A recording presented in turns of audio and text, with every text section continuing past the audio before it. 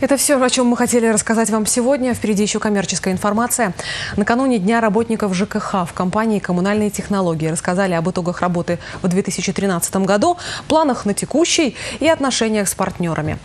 Об этом в сюжете, а я, Ольга Панова, с вами прощаюсь. До встречи в эфире уже завтра. Общество коммунальные технологии сейчас работает над модернизацией производства и над качеством обслуживания населения в предоставлении коммунальных услуг. Этот отопительный сезон, как и предыдущий, по словам генерального директора Андрея Мартьянова, прошел без серьезных аварий, а те, что были, устранялись в нормативные сроки.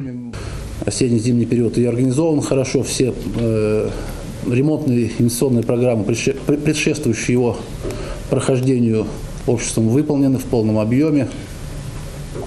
Поэтому что и позволило нам пройти его без нареканий, без особых нареканий, естественно, там какие-то рабочие вопросы, они всегда возникают в этой сфере. Но, тем не менее, в целом, я как руководитель оцениваю деятельность общества на оценку удовлетворительно.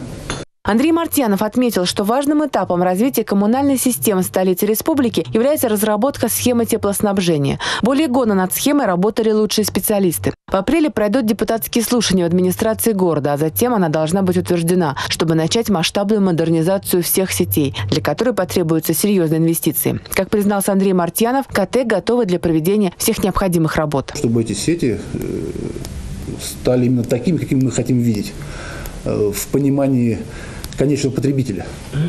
Еще чтобы вода не была ржавая, да, чтобы температура этого теплоносителя была такая, чтобы было комфортно открыть кран. Как замену э, там, магистральных сетей, которые идут от источников ТГК-5, от котельных, от собственных котельных, которые находятся в аренде у коммунальных технологий замену самих котельных, которые уже неэффективны. В коммунальных технологиях работает больше тысячи человек. Компания выполняет все социальные обязательства, выплачивает налоги и аренду, старается соблюдать график погашения задолженности. Отдельное внимание уделяется взаимоотношениям с инвесторами, потребителями, региональными и местными исполнительными органами, органами государственного регулирования и контроля.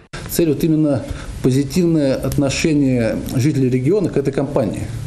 Вот первую очередь, да, я пытаюсь вот этого добиться. Проще было подключаться к электрическим сетям, тепловым сетям. То есть вот те насущные проблемы, которые волнуют э, в первую очередь горожан.